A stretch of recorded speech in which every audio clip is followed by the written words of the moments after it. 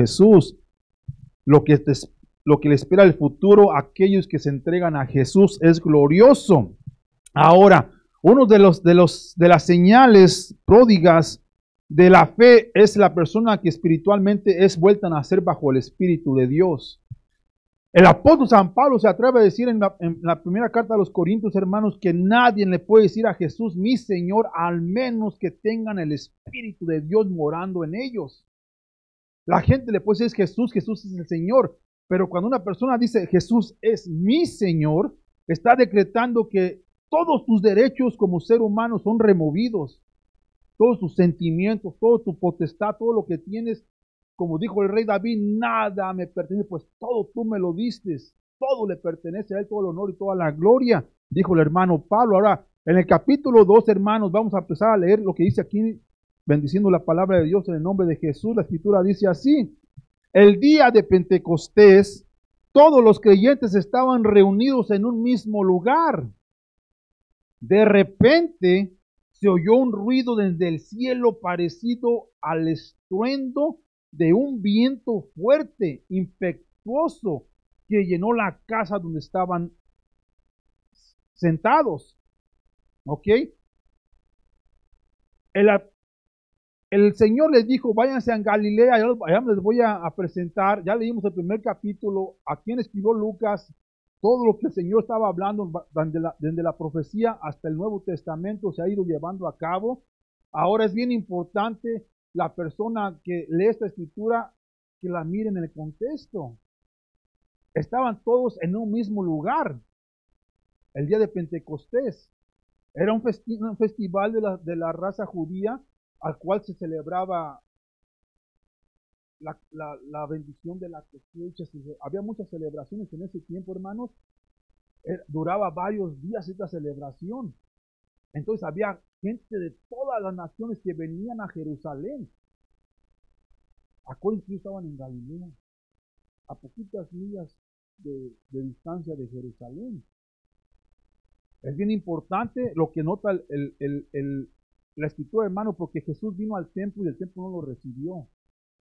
La gente religiosa no la recibe, no lo recibe. Los que están viviendo en el templo, en vez de, recibirlo, lo mandaron a la cruz. Hay mucha gente que, es religiosa, que, que practica religiosidad y que están llevando a Cristo a la cruz constantemente. Cuando Cristo dijo, todo fue completado. Todo lo que ustedes tienen lo que el ser humano necesita para la redención de sus pecados es en Cristo Jesús. Lo bajaron de la cruz, lo llevaron a la tumba y al que resucitó. Y se le presentó a todos los, a todos los hermanos. Dijo, hey, hermanos, amigos, ¿tienen pescado? Le dije la semana pasada. Le dije la semana pasada. No. a la derecha. Hay que saber dónde caminar. A la izquierda, obviamente, hay mucha controversia. A la derecha, caminar en, el, la, derechamente con Cristo, hay bendición. Ahora estaban todos reunidos y estaban sentados, ¿verdad? Llegó un viento, un estruendo fuertísimo.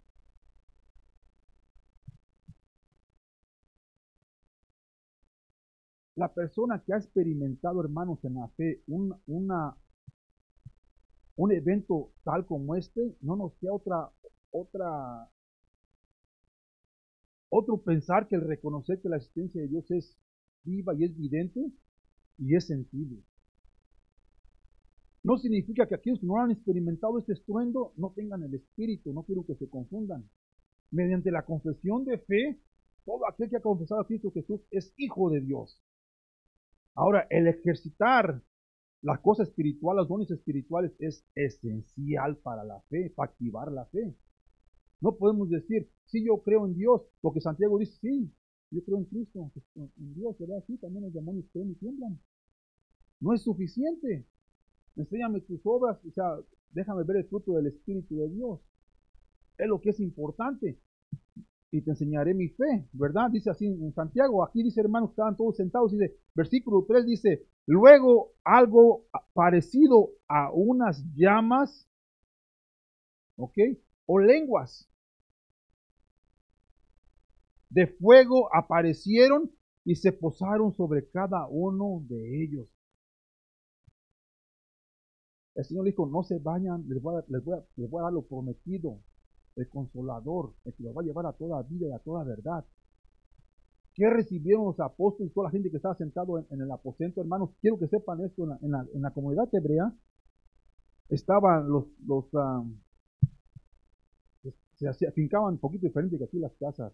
Las salas al entrar de las casas, ¿verdad? O la, lugar de reunión de familia. Y al entrar un, un cuarto atrás. En la comunidad hebrea, abajo era la habitación. ¿okay? Arriba del aposento en el segundo piso. Toda la mayoría de casas en la, comunidad hebrea le hacían un, aposento arriba, donde se reunían a orar, a, celebrar fiestas, hasta lo que fuese. Una terraza, digamos, en México. Se ponía arriba en el segundo piso y ahí estaban todos sentados cuando vieron llegar esto. Eh, ¿Verdad? Es el aposento. Quiero que presten atención a la casa, a la finca, a lo, por qué estaban sentados, por qué estaban en el aposento. Dice, luego algo parecido a unas llamas o lenguas de fuego aparecieron y se posaron sobre cada uno de ellos. Versículo 4 dice, y todos los presentes, ¿qué dice ahí? Fueron llenos del Espíritu Santo.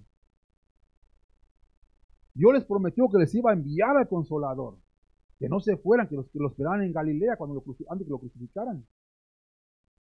Cuando se les apareció, les volvió a repetir lo mismo. Van a recibir, no se vayan, váyanse para allá.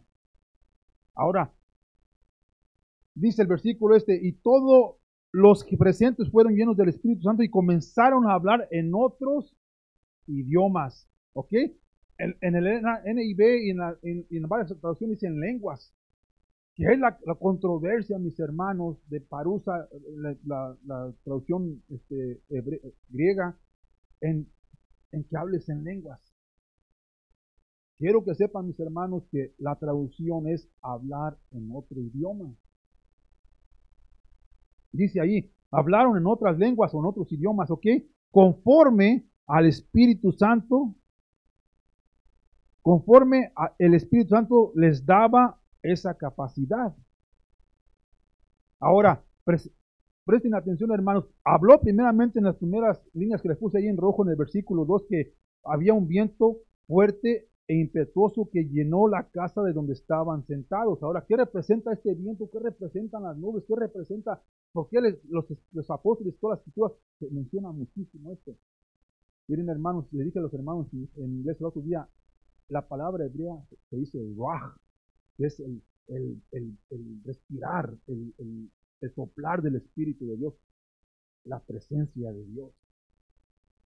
La palabra ruach significa el soplido, del Señor o el soplar del Señor, anunciando su venida, anunciando su presencia. Cuando Él venga va a venir con ese, con ese estruendo y con un sonido de trompeta del Señor, dice la Escritura, hermano.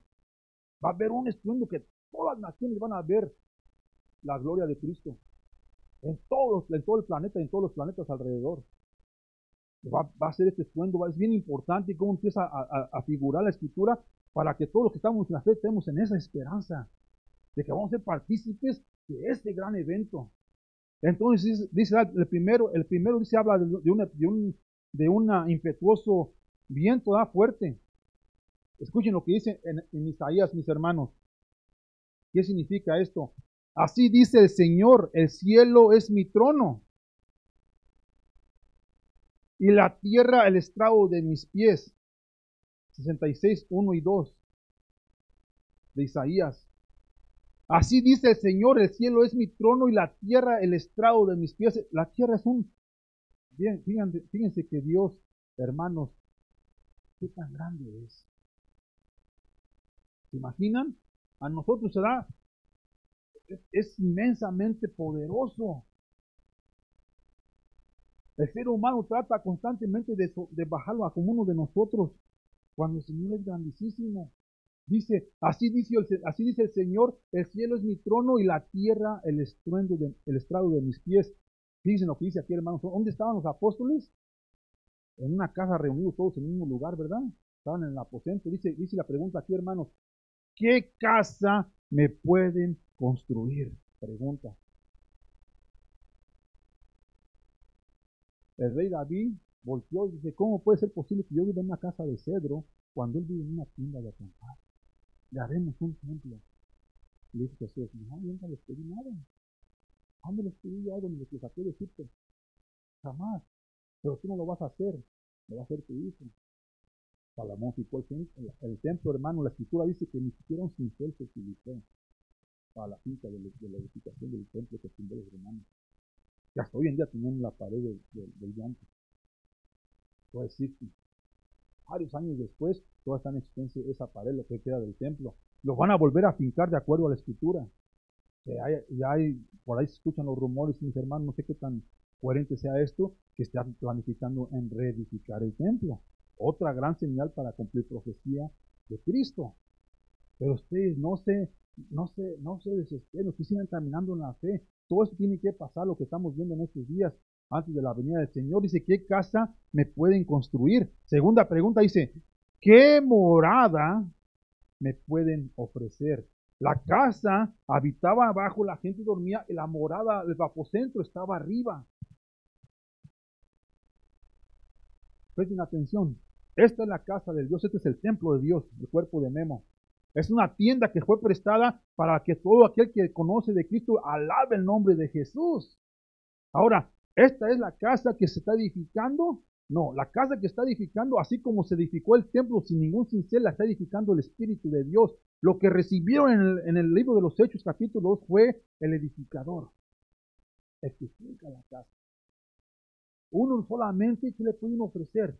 ¿Qué aposento le puedes, le puedes este, ofrecer? ¿Qué morada? Sencillamente, en este cuerpo de muerte mora la presencia de Dios. Entonces, la, la casa, la habitación está del pescuezo para abajo, en otras palabras, en el corazón. La morada es en la mente. Pablo dice, hay que ser renovados en nuestro pensar, en nuestra mente. Ya no seamos como los del mundo nunca más, sino que seamos renovados en la mente. Capítulo 12, versículo 1 de Romanos.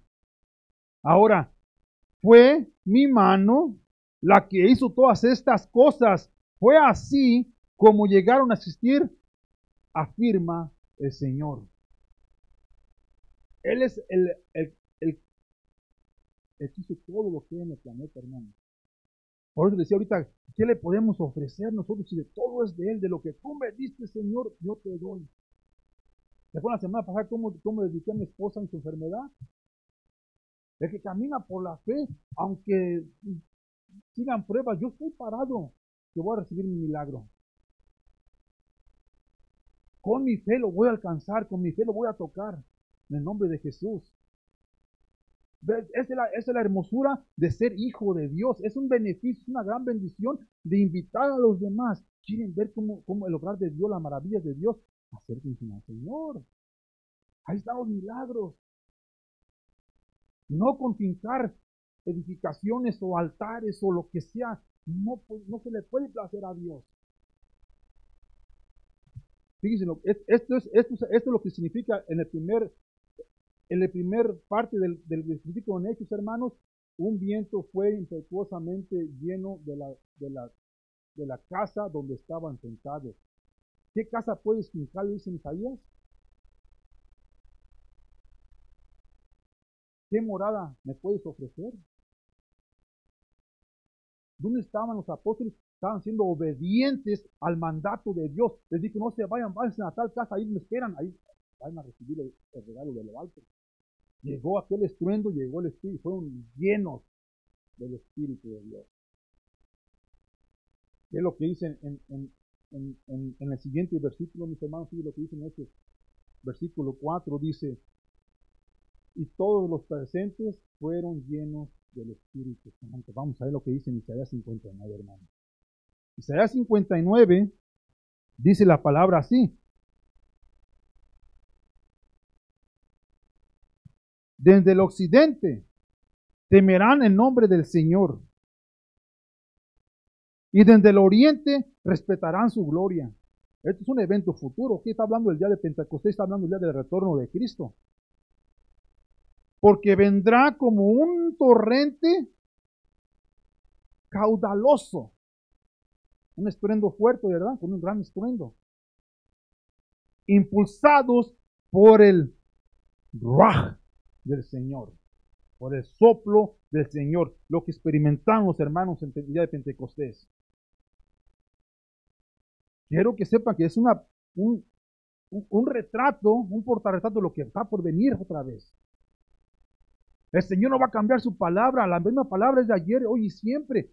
Es el mismo mensaje de los, de los apóstoles, es el mismo mensaje de los profetas, es el mismo mensaje que su hermano Memo le está presentando el día de ahora. Dice, el Redentor vendrá a Sión, vendrá a todos los que a todos los de Jacob que se arrepientan de su rebeldía, afirma el Señor.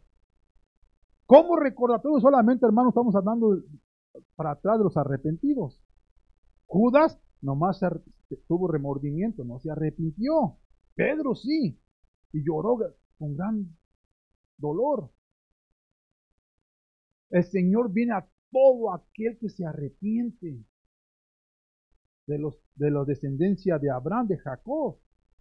Dice, la siguiente, el siguiente versículo dice, en cuanto a mí, dice el Señor, este es mi pacto con ellos, mi espíritu que está sobre ti y mis palabras que he puesto en tus labios no se apartarán más de ti ni de tus hijos, ni de sus descendientes desde ahora y para siempre, dice el Señor.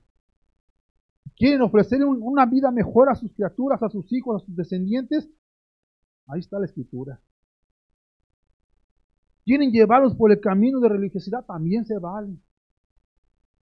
Ustedes, la gente tiene que escoger, por eso les decía la semana pasada que cuando el Espíritu de Dios se pone su palabra, ya no ocupan de que, ven y conoce del Señor. Ustedes tienen que empezar a ejercitar, hermanos, a leer la palabra, a entender. Si no tienen entendimiento, pídanle al Señor entendimiento. ¿Qué me gano yo con hablarles en hebreo o en griego? No me voy a ganar nada. Pero si hablo por el poder del Espíritu Santo de Dios y está trayendo convicción a nuestros corazones, la palabra, no lo que está predicando el hermano, la palabra, es mejor hacerle caso al Espíritu de Dios mucho más mejor, mis hermanos. Esto fue en Isaías 59, del 19 al 21, que nos lleva al primer punto, mis hermanos, del día de ahora, que, dice así, el activar la fe siempre nos hace construir la morada en nuestra mente y corazón a Dios. No en el cuerpo, no en la casa, no en el templo, no en la edificación, adentro. El Señor no significa que también estás parecido, que también formado estás. Cuando escogió a David, era el más morrillo. Llegamos hermanos bien fuertes y bien dados. No, ese no es, ese no es, ese no es. ¿No tienes otro hijo? Dice la palabra, hermano, que Dios no se fija en lo exterior, sino en lo interior.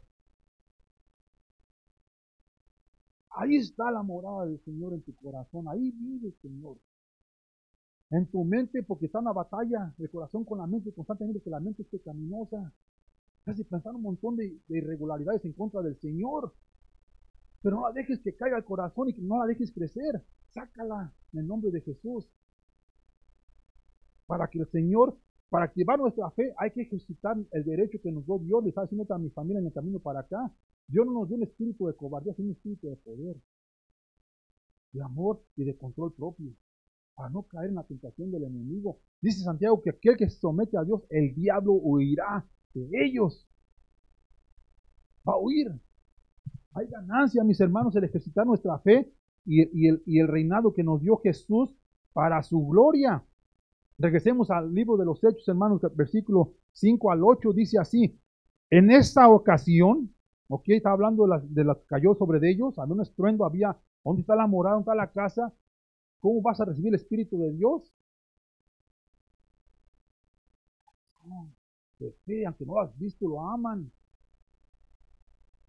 No es el de las fotografías, ese no es Jesús. Ese se llama idolatría. Yo no lo he visto, pero lo amo, lo conozco con mis ojos, no de carne, pero con mis ojos espirituales. Ahora dice aquí, en, esa ocasión había judíos devotos de todas las naciones. ¿Verdad que sí? ¿Verdad que no se refería a hay una lengua, hermanos, angelical, nadie la puede traducir.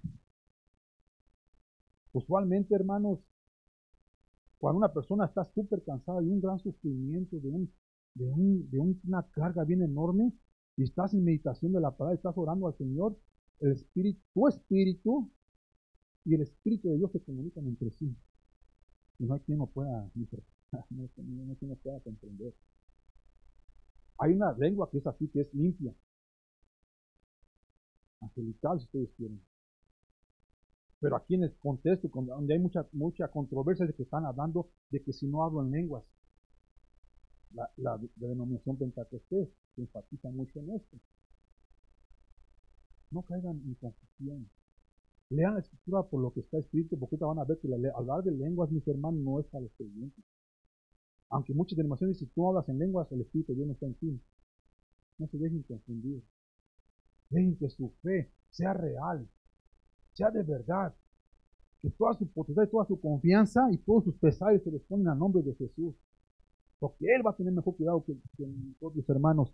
En esa ocasión había judíos devotos de todas las naciones, dice, que vivían en Jerusalén. Versículo 9 dice, 6 que diga, dice, cuando oyeron el fuerte ruido, todos llegaron corriendo y quedaron desconcertados al escuchar sus propios, ¿qué dice ahí? ¿Verdad que sigan hablando de idiomas? Si yo lo leo y si lo quiero, si las quiero voltear, que porque soy pentecostés y puedo hablar en lenguas, ¿qué me gano? Si ustedes no van a entender si les hablo en latín, en hebreo, en, en chino, en coreano, en lo que sea.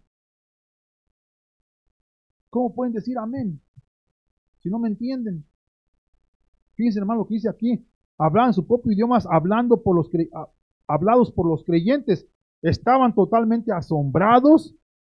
¿Cómo puede ser? exclamaban. Todas estas personas son de Galilea y aún así las oímos hablar en nuestra lengua materna. Ahí está la lengua. Cuando yo les leo esta traducción a muchos hermanos, dicen, no, pero es que la, cambiaron. No, hermano. Dios me ha dado la gran, la gran dicha de ser estudioso en la palabra de Dios y sé lo que está escrito en griego. Sé la traducción, está hablando de idioma. Había gente de todas las naciones ese día que vivían en Jerusalén. Exactamente. El tiempo no ha cambiado desde que, desde que la torre de Babel hasta ahorita. Se devolvió nuevos idiomas para que la gente no llegara hasta arriba. Ya estamos otra vez igual. La gente quiere llegar hasta arriba, igual que en los tiempos de Babel. ¿Verdad que la gente no cambia? ¿No entiende? Pero vemos un remanente, hermanos, una gente en que creemos que la palabra de Dios, que estamos enfocándonos en lo que está escrito en la palabra de Dios. Decretando la gloria de Dios y el plan de Dios para la sanidad y la salvación de las almas. Ahora, es más importante, hermano, que la gente comprenda que hay que ser salvos, hay que ser llenos del Espíritu de Dios, a hablar en mil lenguajes. Y lo que estoy haciendo yo ahorita, la mucha gente, hermano religioso, le llama profetizar la palabra de Dios. Profetizar no es decir algo que va a pasar en el futuro, es hablar la palabra de Dios. Como está escrita. Es mejor, si la palabra no me enseña algo, bajo lo que está escrito, mejor me quedo callado. No le voy a meter ni le voy a quitar. Porque a mí si le meto el equipo. Dice la palabra de Dios. Donde la palabra de Dios es silencia, allí también es el silencio. Donde la palabra de Dios habla, voy a hablar el evangelio. Ay de mí si no predico el completo evangelio de Jesús.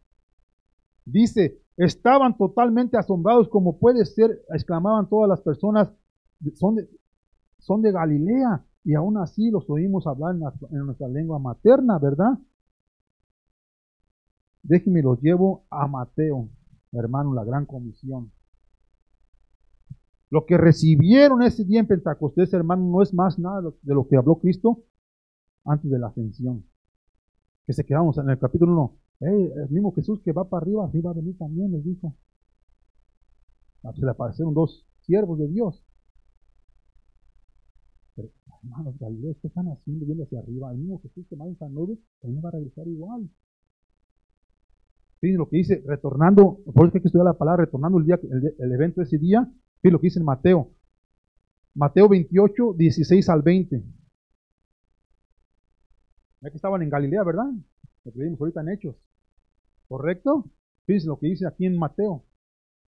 28, 16 dice, los once discípulos, ah, veremos, pero allá hablaste tú que había, que, que Pedro reconoció a otro, a Matías.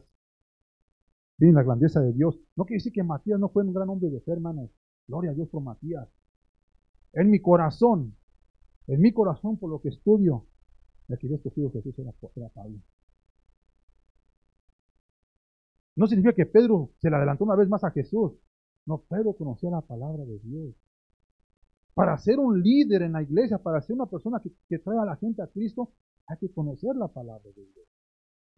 No es que Pedro se le haya adelantado a Cristo, mis hermanos. Pero en mi corazón y en mi fe, al que escogió Jesús, era un muchacho que iba para más que para a todos. Se llama Saulo, sale con quien me Ahora se llama Saulo, que no sabe. No es, no es de confusión, hermanos. Hay que a veces nosotros los seres humanos queremos, igual que, que la esposa de Abraham, ay, no puedo tener hijos, que se la tierra aquí, para que tengas un hijo y tuvo Ismael. Y que a veces nuestro, nuestro, nuestro, nuestra naturaleza es de querer ayudar a Dios. A cada vez que, es un ser humano, que yo leo una palabra de Dios, hermanos, que le quieren ayudar a Dios, se la adelantan. Lo que él dijo, sí, es mejor esperar en el Señor. La sanidad la trae el Señor, esperar en el Señor. ¿Cuál es la sanidad? En ocasiones, hermanos, platicaba con el hermano Marcos en otras semanas, está sano. No es lo que esperábamos que fuera sanada aquí, pero fue sanada. No hay lágrimas, ni llanto, ni dolor, ni nada, ni cielo, ni paraíso.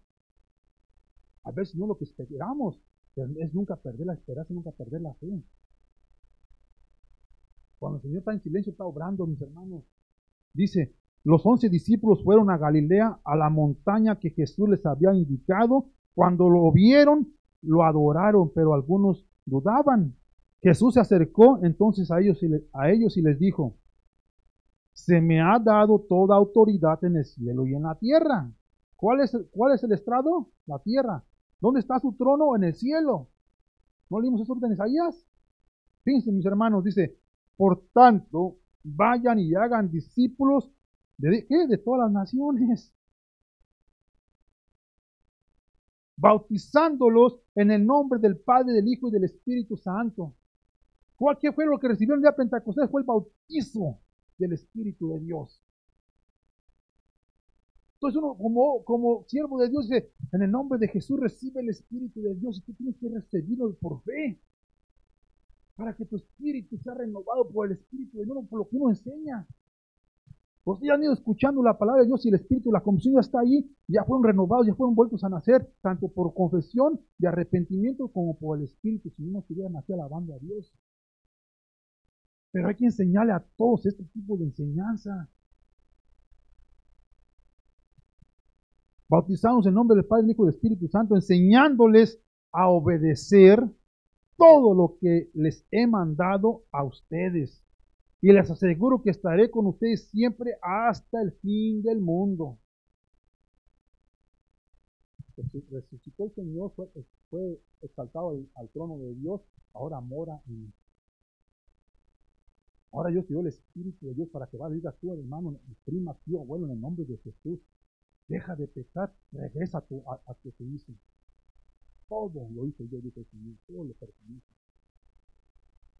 No, pero este señor cristiano ya no puedo pistear, ya no puedo cantar, ya no puedo hacer esto. La condición del Espíritu Lo importante es la salvación de tu alma. Confiésalo. Arrímate al Señor. Ven, conoce del Señor. Déjate, Señor, dejen que el Señor haga su obrar en cada quien. No, no, le queramos ayudar, hermano, porque nos metemos en broncas, hombre, que me dicen por ahí.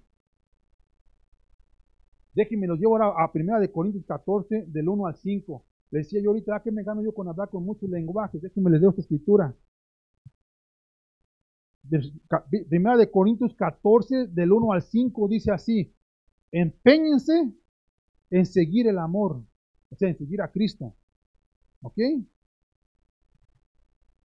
Hermano, cuando Cristo, cuando tú eras pecador, Cristo murió por ti, no te juzgó. No se te adelantó. Pero nuestra humanidad rápida es juzgar al pariente. O es que dice que es cristiano, ¿y cómo anda?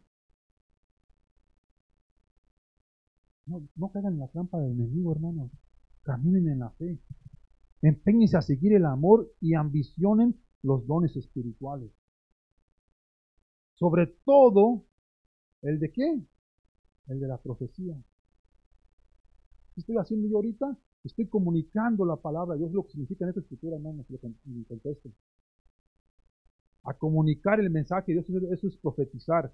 Dice, porque el que habla en lenguas, versículo 2, no habla a los demás, sino a Dios. ¿Se entienden, verdad? Hay un, lenguaje que el Señor te dio. Le dio a toda la, y toda la gente escuchaba su lenguaje. A segunda al Espíritu de Dios.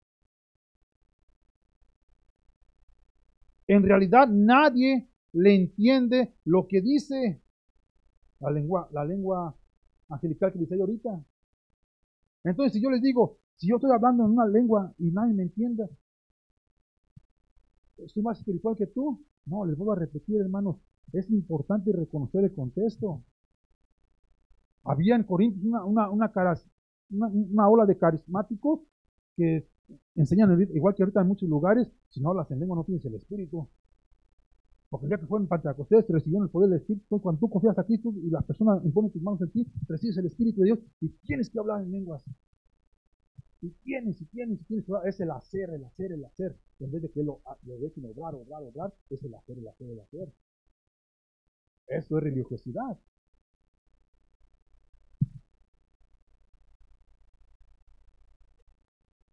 Sí. Sí. Hay un video, hermano.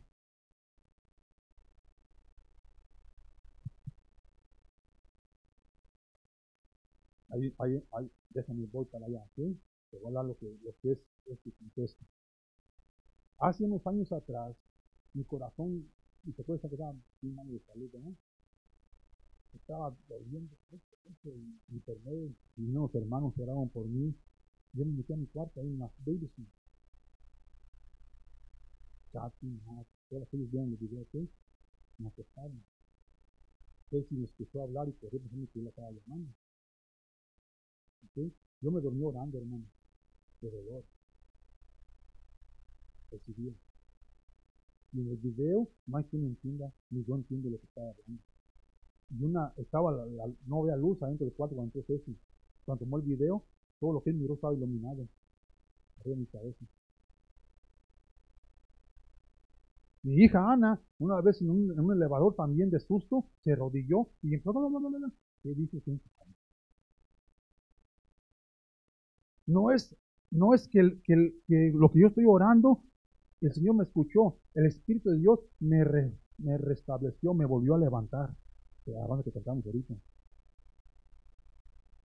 Y los deseos de corazón serán adheridos. El Señor ha visto, como le dije ahorita, hay sanidad a veces aquí en, la tierra, a veces allá. O sea que uno no puede, no podemos usar a Dios como la, lámpara maravillosa. No, no podemos decirle, haz esto por mí, Señor, si no lo haces, ya no voy a creer en ti. Y si no, y si no me escucha mi oración, tampoco voy a seguir caminando contigo. No, no, no es un Dios de pactos, pero no para, para nuestras conveniencias o nuestros, nuestros pensares. Es lo que dice aquí el apóstol San Pablo. Te voy a seguir leyendo. Dice, Dice, versículo 2, ¿ok? Porque el que habla en lenguas no habla los demás, a los demás, sino a Dios. ¿Ok? En realidad, nadie le entiende lo que dice, pues habla misterios por el Espíritu. En cambio, el que profetiza habla a los demás para edificarlos, animarlos y consolarlos. Aquel que está enfermo, que venga a los ancianos y van a orar y, si, y, si, y si tiene pecado serán perdonados. Es en Santiago, hermano. Que el enfermo venga a los ancianos de la iglesia para que le pongan sus manos. Y uno con una oración de fe, el Señor obrará. Pero voy a repetir, a veces no es como nosotros queremos. Pero es nuestra obligación de orar por el enfermo. Vamos a pararnos en fe expectando una gran sanidad. Pero no es que le comandamos al Espíritu. Vamos a, a vamos a edificarlos. Acuérdense, hermanos, que esto también pasa. No importa la carga, también puede pasar. O sea, entre nosotros tenemos que animar, edificarnos, a fortalecernos unos a los otros en la fe. La palabra de Dios dice así, que no, mal prosperidad en contra de Dios, no, ninguna arma de maldad, ninguna enfermedad. Vamos a pararnos en esa fe y vamos a ponernos a orar. ¿Me entienden? Lo, que uno hace es edificarlos en la palabra, lo que uno hace, hace es consolarlos. Y animarlos. Versículo 4 dice, el que habla en lenguas se edifica a sí mismo. Ahí va el carismático, esto no es la lengua que, se comunica a Dios. Este es que llega y me paro yo. Oh, ¿Qué? Aquí está edificando. ¿Cómo van a decirme amén? ¿Puedo controlar yo el hablar en lenguas? Sí, porque la palabra de Dios te dice. Pero si me presento yo con ese afán en mi iglesia, hermanos, me estoy edificando a mí mismo. No a la iglesia. Para mostrar a los creyentes que están viniendo que ustedes tienen espirituales, hermanos. ¿Qué causas? Que se fijen en ti en vez de ti como líder. Eso se llama idolatría Y es triste que muchas congregaciones están utilizando ese utilizo.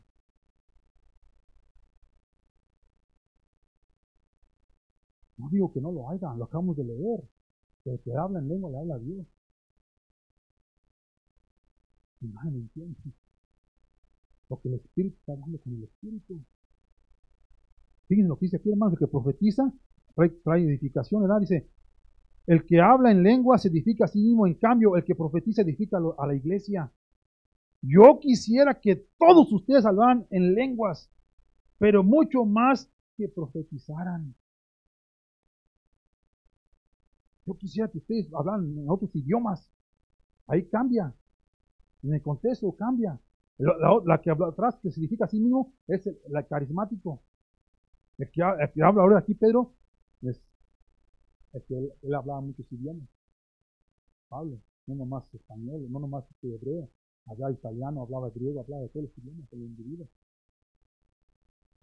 Miren lo que dice aquí, yo quisiera que todos hablaran en lenguas, pero más que, que profetizaran. El que profetiza aventaja a que habla en a menos que, que este también al menos que este también interprete.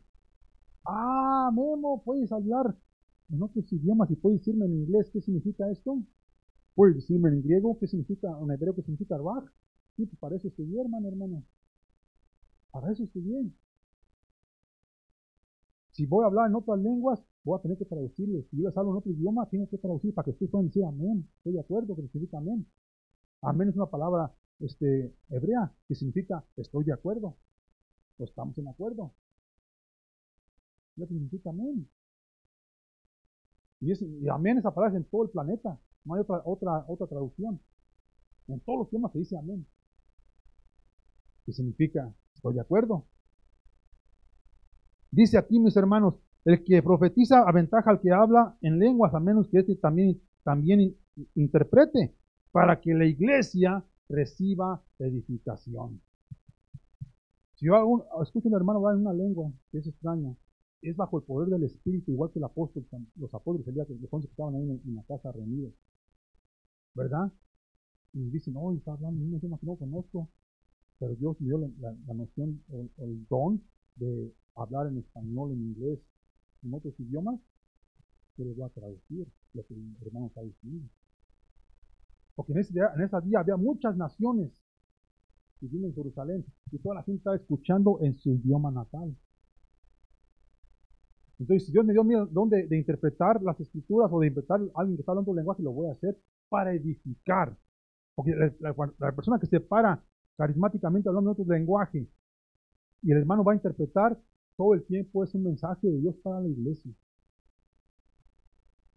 Si no es para edificar, ese hombre tiene que ser silenciado, dice aquí en el capítulo. Sacado. No hay intérprete. Hermanos, déjenme les digo lo que dicen en, aquí mismo en la, en la Corintios, en el mismo capítulo.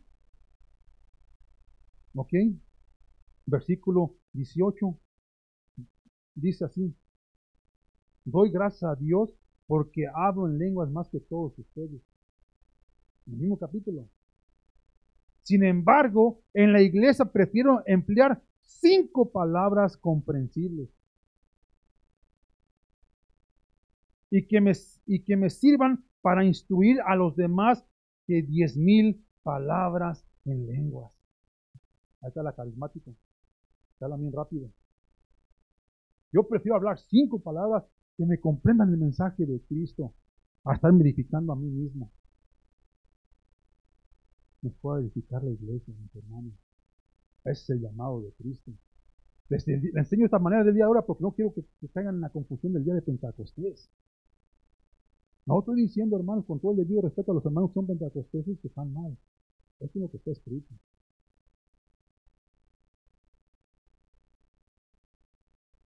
Sus sentimientos, sus cosas de adentro, no dejen que interrumpan sean clarificados, mejor sean más entendibles, hablar en mil lenguas. versículo 20 dice, hermanos, no sean niños en su modo de pensar. Sean niños en cuanto a la malicia, pero adultos en su modo de pensar. No caigan en las trampas, pues. ¿Ok? En la ley está escrito por medio de gente de lengua extraña y por boca de extranjeros hablaré a este pueblo, pero ni aun así me escucharán, dice el Señor. De modo que el hablar en lenguas es una señal no para los creyentes. ¿Verdad que se dice así? No para los creyentes, sino para los incrédulos. Porque cuando estaban ellos, ¿cómo puede ser posible que estén hablando nuestro propio lenguaje? ¿Por qué lo estamos entendiendo? Ellos ya habían creído. Pues hablar en lengua no es para el creyente, sino para los que no creen, para que conozcan el mensaje de Cristo. Oigan, ¿cómo que tú eres mexicano puedes hablar en hebreo, en griego, o en español, o en inglés, o en lo que sea? ¿Cómo puede ser posible? Es que el Señor me dio ese don, lo quiere recibir, hay que ser vuelto a nacer, chato. Hay que ser vuelto por el Espíritu de Dios. Entonces dice así, mis hermanos.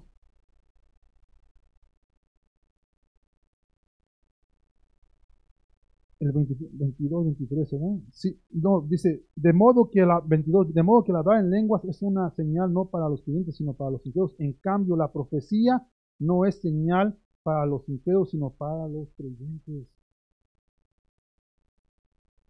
Ahí quiero parar antes de porque todo el contexto habla del don de las lenguas en el capítulo 14. Y Pablo está denotando, hermano, no caigan en religiosidad más ya lo sacaron de allí. ¿Por qué regresaste a hacer cultos de, de, de, clicas, de reuniones, de más ciertas personas? No, ese no es el llamado de Cristo. Les está reprendiendo, obviamente, hermanos, el apóstol en la, carta a los Corintios. Los llevo acá porque quiero que conozcan lo que estaba pasando ese día. Es más, muchos van a burlarse de ustedes. Lo vamos a ver ahorita. Me lleva al siguiente punto, hermanos. El punto número dos dice, el hablar, el activar la fe siempre nos hace comunicar la palabra en nuestra propia lengua y en otras, y en otras glorificando a Dios. Yo, me gano con hablar mucho lenguaje, dice la apóstol Pablo. Hablo más que ustedes. Pero si las hablo, ¿qué van a entender? Si fuera de cinco palabras en vez de diez mil carismáticas. Así se edifica más a la iglesia, hermanos, se glorifica más a Dios. Ahora, Hechos del 5 al 8, del 9 para abajo, puse ahí del 2 al 5 al 8, no lo borré. Dice, aquí estamos nosotros, ahí están, están todas las naciones, ¿ok? Estaban todos juntos, llegó la lengua, llegaron los fuegos, empezaron a hablar en el lenguaje de, de la gente que estaban ahí alrededor, dice, aquí estamos nosotros partos, medos, dentro de las lenguas estaban hablando, partos, medos, elamitas, gente de Mesopotamia, Judea, Capadocia, Ponto, de la provincia de Asia, de Frigia, Panfila, Panfilia, Egipto y de las áreas de Libia alrededor de Sirene, visitantes de Roma. Fíjense nomás.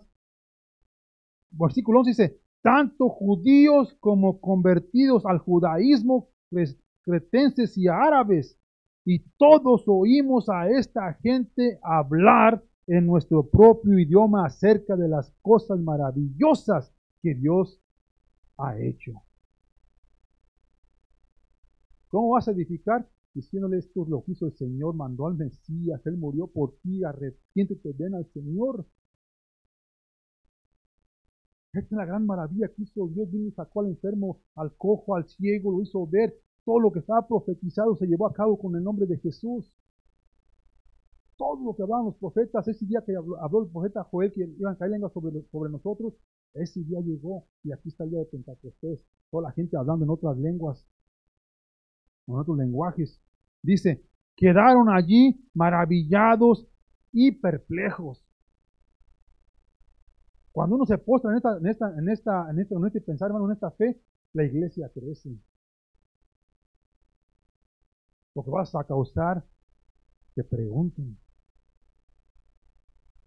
Y cada, cada vez que te preguntes, es una oportunidad para que tú compartas lo que es tu fe. Dice aquí, hermanos, quedaron allí maravillados y perplejos. ¿Qué querrá decir esto? se preguntaban unos a otros, pero otros entre, entre la multitud se burlaban de ellos diciendo, solo, solo están borrachos, eso es todo. ¿Verdad que es curioso, hermanos, que escucharon el estruendor y fueron corriendo a ver qué había pasado? Pero una cuetería van todos a ver qué pasó. Escucharon el estruendor y todos fueron. Y ahora que les hablan en su propio idioma, no están borrachos. Porque ya dijo el, Señor en el 28, unos dudarán, unos no creerán. No se aflijan. Hay que seguir siendo persistentes en la fe, perseverancia en la fe. Hay que seguir insistiendo con aquellos que nos están rechazando a escuchar las buenas nuevas, especialmente los de nuestra familia, porque les acabo de leer aquí en Isaías que todos sus descendientes, a todos aquellos que se entregan al Señor, todos sus descendientes serán salvos, serán bendecidos. Punto para cerrar, hermanos, dice aquí, el activar la fe siempre hace por la palabra el que te pregunten sobre tu fe.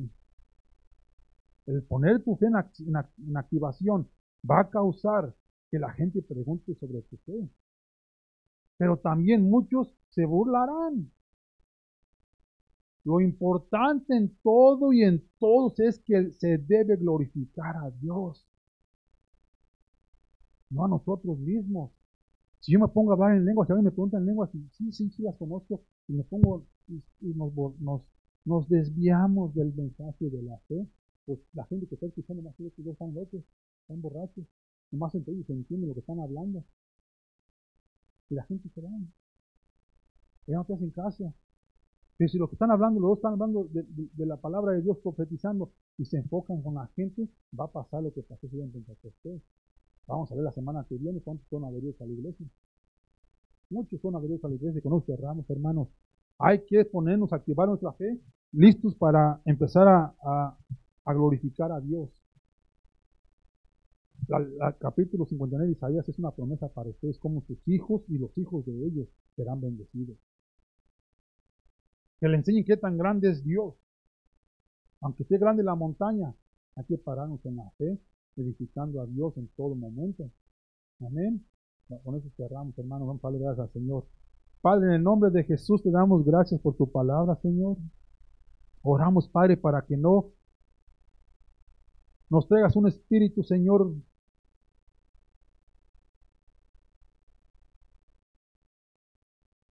No que tú nos traigas el Espíritu, Padre, pero que no caigamos en un espíritu nosotros mismos de confusión, Señor. Oramos, Padre, para que tú sigas clarificando todo tipo de enseñanza en tu palabra, Padre, para que sigas edificando a tu iglesia y fortaleciéndonos a nosotros los creyentes, Padre. Oramos por aquellos, Padre, que están en confusión para que sean desatados en el nombre de Jesús de la confusión, Padre. No nomás en, en todas las denominaciones, Padre, sin mencionar ninguna denominación, Señor. Oramos para que tu salvación y tu redención y tu mensaje maravilloso de la, de la, de la redención de nuestros espíritus y almas sea comunicado con excelencia, Padre, para que muchos sean salvos. Enséñanos tu palabra, enséñanos tu caminar, Padre, y te damos gracias por todo lo que tú nos has bendecido el día de ahora con tu enseñar. Bendice nuestro, nuestra semana de labor, Padre, nuestros trabajos, protege nuestros hogares, Padre. A los que están enfermos, Señor, seguimos expectando que tú sanarás al enfermo, seguirás sanando que ya una vez lo deberás hacer, Padre. Creemos en ti, Señor, por eso nos posamos en tu presencia, aclamando y, preguntando y, pidiéndote, Señor, con corazón contrito que sanes al enfermo, a las naciones, que traiga salvación al, al perdido, Padre. Pedimos esto en el nombre del Señor Jesucristo. Amén, amén y amén.